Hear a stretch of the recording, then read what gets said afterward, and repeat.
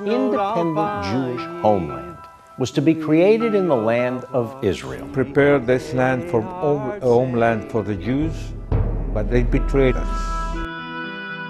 As in uh, 1920, the cry went up, the government is with us, killed the Jews. I was struck by the poverty of honor that existed in, in just so much of the world. Was an appointment that would later come back to haunt the British. Criminals led nations into war and turned simple people into monstrous tools of destruction. The promised homeland in Israel could have accepted the Jews of Europe, but Great Britain reneged on their forsaken promise. Shalom and welcome again to Crosstalk. My name is Randy Weiss, and we're in a special series produced in collaboration with the Hatikva Film Trust. Today's program is based on a powerful documentary called The Forsaken Promise.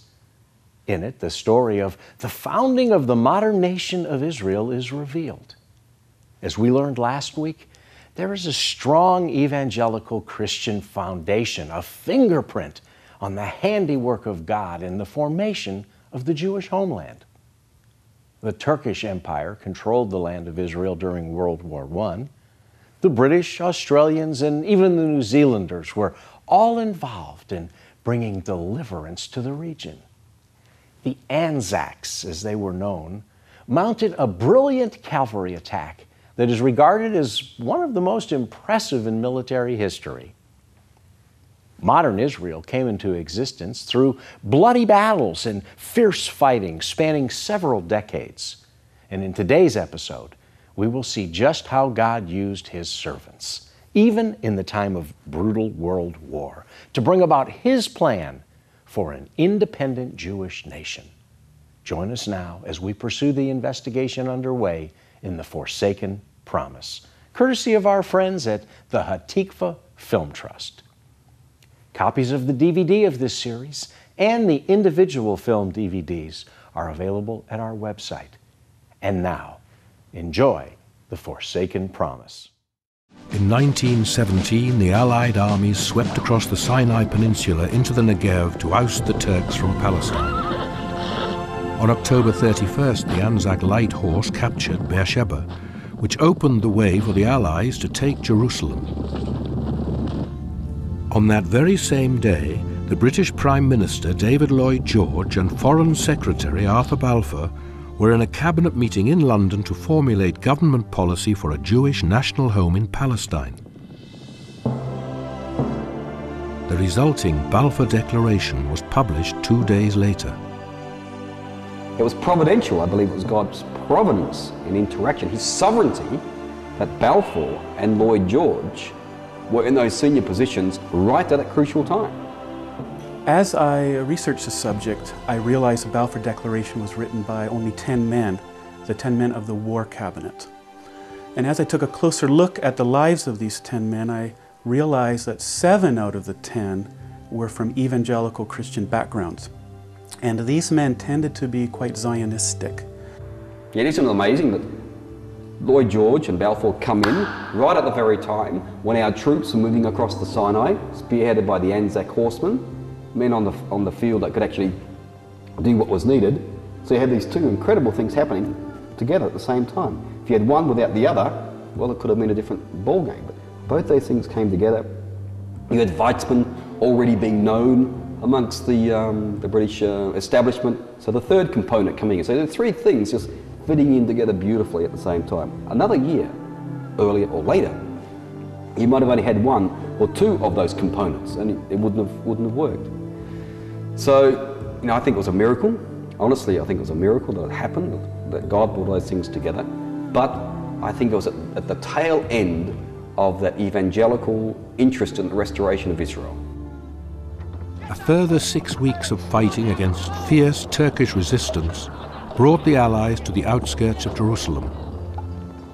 On the eve of the Feast of Hanukkah in the Jewish calendar, another miracle took place.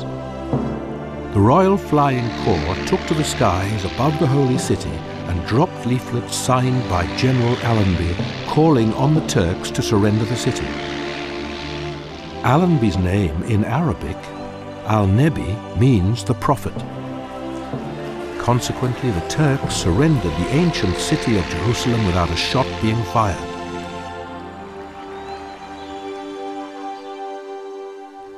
I was always interested what was going on. I was only six years old when I went downstairs and I saw people standing on either side of Yafo Street. And I asked them, why are you standing here? And they said, Lord Allenby is coming down and we want to welcome him. And before long, I could see the horse coming down Jaffa, Jaffa Street. And everybody was so wild with excitement. We thought that Messiah was coming. This was our thought. Anyhow, he rode all the way and he went as far as the, the, the Jaffa gate is and dismounted and walked into the old city.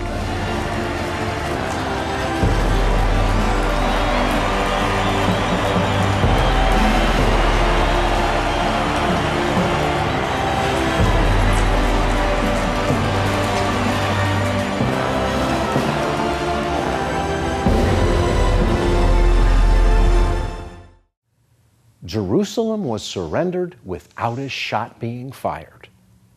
Who could have imagined such a miracle? On December 11, 1917, one might have thought a Messiah had come to redeem the city of Jerusalem. And when General Allenby entered the old city through the Jaffa Gate, he might as well have been led by the hand of God. By the time Chaim Weizmann arrived in 1918, it should have been to receive a free, independent Jewish state. Had Britain honored her commitment to Weizmann through Prime Minister Lloyd George and, and Lord Balfour, Israel might have been created much sooner.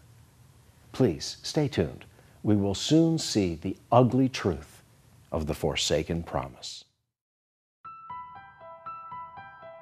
Without any consideration, without any feeling. And uh, so it went all over the, the city. They attacked all the Jewish homes, and as I said, uh, with a cruelty unbelievable. The British betrayed us. The British authorities responded by ethnically cleansing Hebron of its Jewish population. The Jews had been stripped of their civil rights and declared as a subhuman race. Millions perished because of the world's inaction. No nation on earth would welcome the Jews.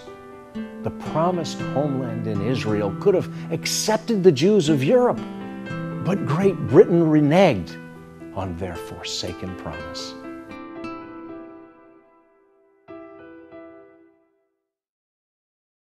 And I will bless those that bless you, and curse those that curse you. If you're like me, You've probably heard that scripture since you were young. But one might ask, what does this really look like? Well, there are two ways that you can bless Israel in a very tangible way. One of those ways is to go. The other way is to plant trees. You see, Israel is a modern miracle in the desert of the Middle East because believers like us plant trees. So I'll ask, do you want to bless Israel? For every $25 contribution that you make, we're going to plant a tree in your name, and we'll send you a certificate that you can hang on the wall and display proudly that you're standing with and you have blessed Israel. So give me a call at 1 800 688 3422 or visit us on the web at crosstalk.org. Let us know how many trees you want to plant. And if you're able, join us on our next tour of the Holy Land and plant one with your own hands. Israel was ripe for habitation as an independent Jewish nation. But forces of evil, fueled by anti Semitic hatred, came into play very quickly to delay the Forsaken Promise. The entrance of General Allenby and the forces from the Egyptian Expeditionary Force into Jerusalem on the 11th of December 1917 was in effect, the culmination of the restorationist dream, that dream which had been relevant within British Christian circles especially, but also in other countries for several hundred years, a dream of the return of the Jewish people to the land of Israel. And so the coming of General Allenby here in 1917 really was the fulfillment uh, of much of that expectation from the previous few hundred years. In 1918, Chaim Weizmann, the leader of the Zionist organization, who would one day become the first president of Israel, came to Palestine to further the Zionist cause. He arrived in Jerusalem to a tumultuous welcome from the Jewish population. However, he found that the British military administration was less than enthusiastic. The British had control over lots of Muslim people at that stage.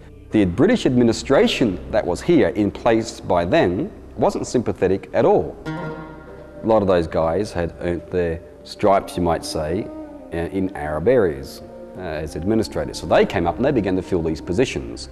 So just imagine the Zionist organization coming in saying, well, we've been given this promise by the government that this will be a Jewish homeland. And they're sort of thinking, never heard that. Or if they had heard it, they didn't want to acknowledge it. They didn't see it as their obligation uh, to proclaim or publicize uh, British government policy as expressed in the Balfour Declaration. And that was intentional. The British, the British decided, or the British military government decided that was a political issue for which they weren't prepared to get involved. In case you missed the explanation in our introductory episode, permit me to remind our friends that the Balfour Declaration was the basis upon which an independent Jewish homeland was to be created in the land of Israel. This document, drafted in 1917, was not produced in a political vacuum. No, it was the result of promises made to Chaim Weizmann, a great Jewish chemist. By 1916, England was on the verge of losing World War I. The Germans had blocked the shipping lanes with their powerful fleet of submarines. The supplies of acetone needed by the English for the creation of gunpowder were totally exhausted. Great Britain was literally going to run out of ammunition and succumb to the German forces. But Chaim Weizmann invented a new technique for making the necessary component to keep England supplied with gunpowder in spite of the, the German blockade.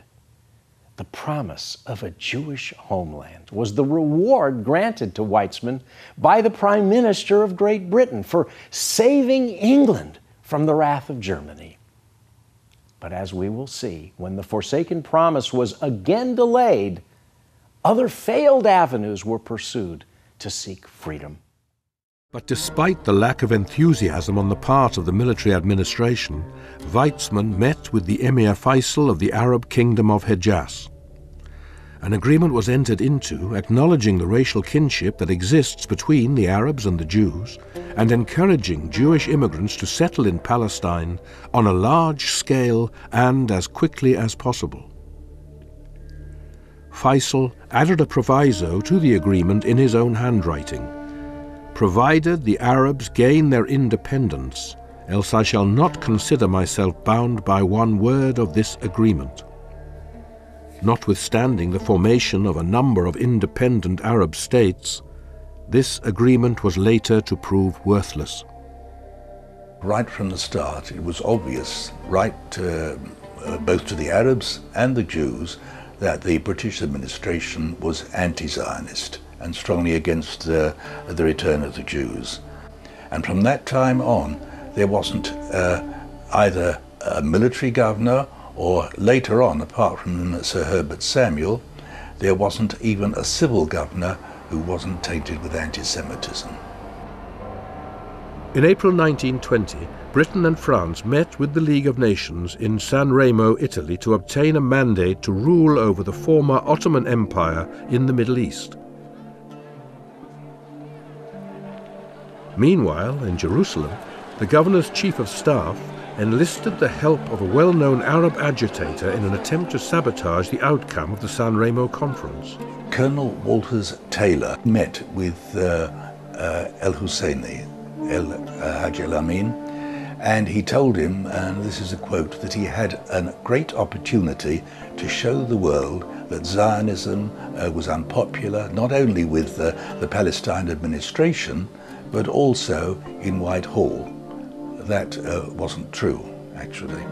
And uh, he said that if disturbances of sufficient violence took place over Easter, uh, then both General Bols and General Allenby would advocate the abandonment of the Jewish national home. With the Jewish police disarmed on the orders of the administration and a cordon around the old city to prevent outside help, the riots started with cries of, We shall drink the blood of the Jews. Don't be afraid, the government is with us. The Jewish quarter was ransacked and several people killed.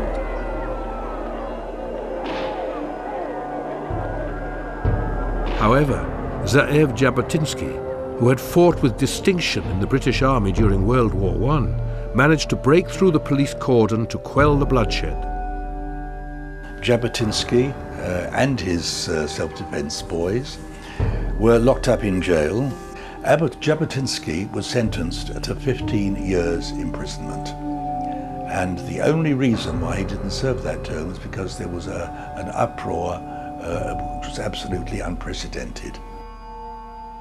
Haj Amin was given a five-year sentence for his overt role in the pogrom, but he escaped in mysterious circumstances. A pattern had been set that would haunt the rest of British rule over Palestine. Sir Herbert Samuel was appointed as the first High Commissioner of Palestine. The Jewish community was overjoyed by his appointment. The Arabs were less than happy, and so were some members of the British administration. It's reported that one of the staff of the British Civil Administration said, and there I was at Government House, and a huge Union Jack flying, and underneath it sat a bloody Jew. And so it was that a Jewish Zionist from England was placed in authority over what would be a Jewish homeland. Not everyone was happy, but a path to freedom was in sight. Stay tuned for more of the Forsaken Promise.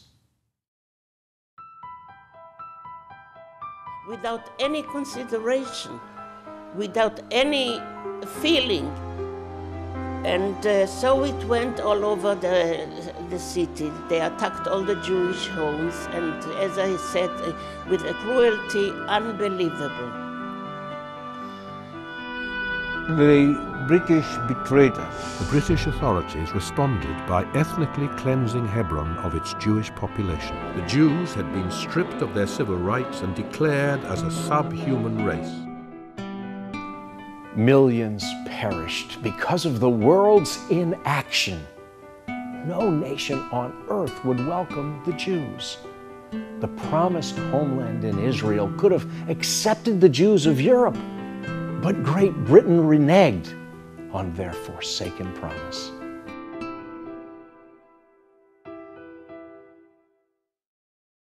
And I will bless those that bless you, and curse those that curse you. If you're like me, you've probably heard that scripture since you were young.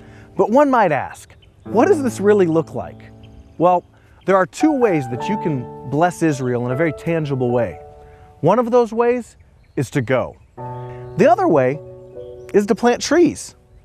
You see, Israel is a modern miracle in the desert of the Middle East because believers like us plant trees.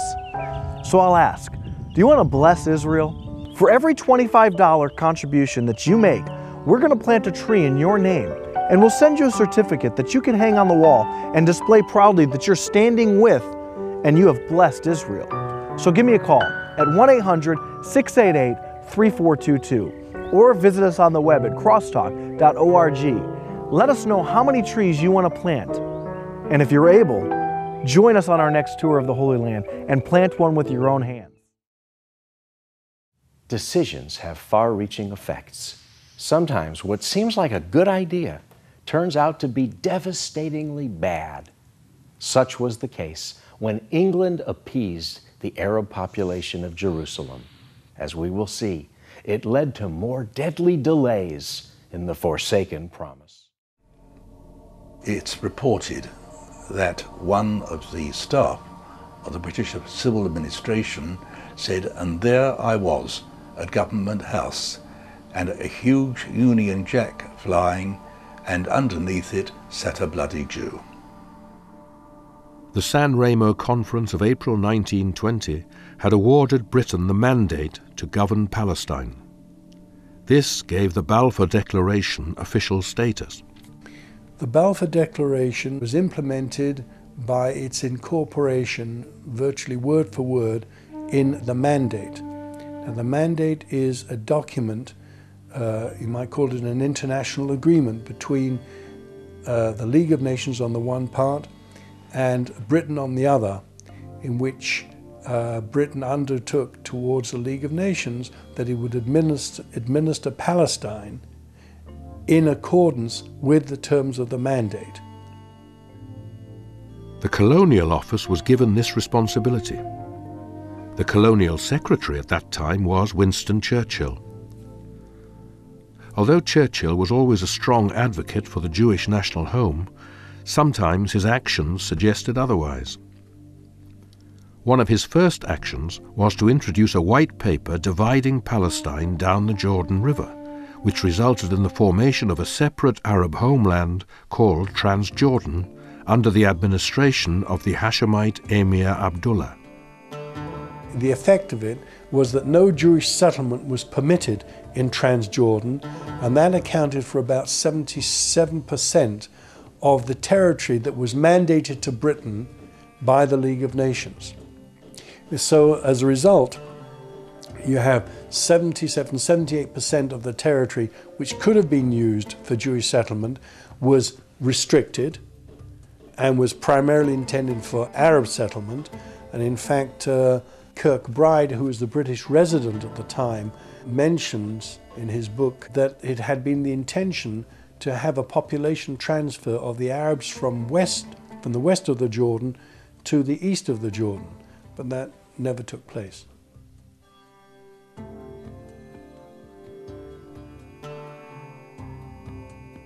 Sir Herbert Samuel, the British governor of what remained of Palestine, attempted to involve both Arabs and Jews in government.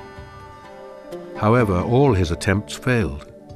Because he was a Jew, Sir Herbert Samuel uh, fell over backwards in order to try and be uh, even handed and one of the first things he did was to recall Hajj el Amin uh, because he had a certain following.